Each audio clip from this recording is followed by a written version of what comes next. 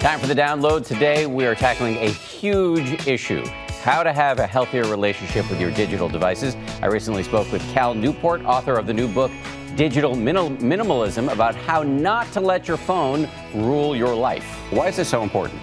Well, I think a lot of people right now are starting to feel uneasy about their relationship with their technology. In particular, how much they're now doing this, how much they're looking down at their screen, and they're looking for a way to fix this relationship. I've been struggling with this mightily for years. So you've got a plan in your book about how people can do this, and one of the first things you say is to remove any app that makes money from your attention. Well, it's worth remembering that billions of dollars have been invested to try to figure out how to get you to compulsively look at your phone screen. So one of the easiest things you could do to protect yourself from that is just take off the phone the apps in which that investment was made. You can still access them on your computer, at your desktop, but it's not there in your pocket, pulling at your attention at every minute of the day. Now, the big kahuna in your book is something called a 30-day digital declutter. This may give some people hives, but what is it?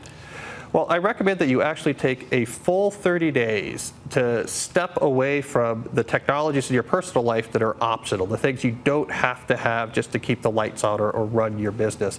During that period, actually get back in touch with what you care about, what you actually like to spend your time doing, what your values are, and then when it's over, rebuild your digital life from scratch, just adding back in the tools or services you actually need. You've put people through this digital declutter, this 30 day uh, program. What do you hear from them? One of the key things I discovered was those who are most likely to succeed in making sustainable changes were those who actually put in the effort during the 30 days to figure out what is it that I really want to be doing instead of looking at the screen.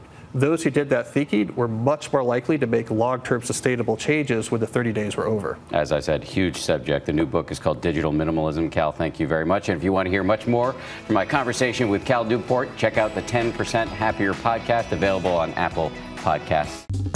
Well, hey there, GMA fans. Robin Roberts here. Thanks for checking out our YouTube channel. Lots of great stuff here. So go on, click the subscribe button right over right over here to get more of awesome videos and content from GMA every day, anytime. We thank you for watching, and we'll see you in the morning on GMA.